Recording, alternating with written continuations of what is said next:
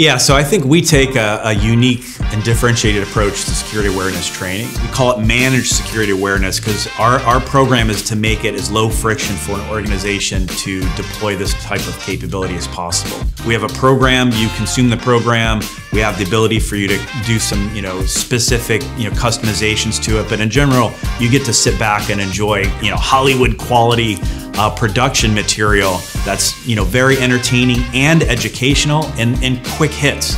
You know, no employee wants to sit through you know half hour of, of, training when they're busy in the day. So our approach is to make it you know entertaining, educational, and quick, uh, and and that makes employees actually enjoy when it comes out. And uh, I can tell you, as somebody who goes through the training all the time, I actually look forward to when I get a new one because it's it is it's it's very educational, but it's it's fun to go through, and that makes it uh, something that's more consumable by most companies.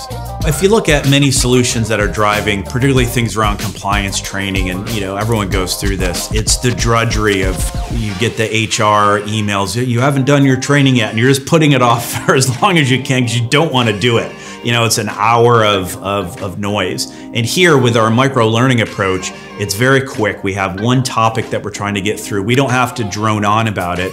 In fact, we educate you about it in a very fun and Hollywood-esque kind of way, which makes it much easier to consume and much more enjoyable as well. And so when I have that ability to focus on a specific topic for, you know, two, three minutes, maybe five minutes tops, then you know I'm not taking a lot of time in my day. I can I can knock that out pretty quick, and at the end of the day, I'm much smarter about it as well.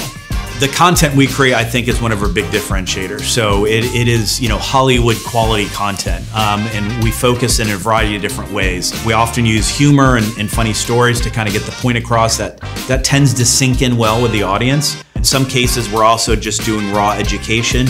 Um, and in other cases, we actually provide some quizzes at the end to make sure that you've actually consumed and understood that content. And so uh, we have the ability to kind of do both. And in some cases, we have thematic you know, series of, of information that drives things across that customers uh, get to see. And it just really changes how somebody consumes that information. It's, it's much more easily understandable, a much more retainable. It doesn't seem like an onerous activity.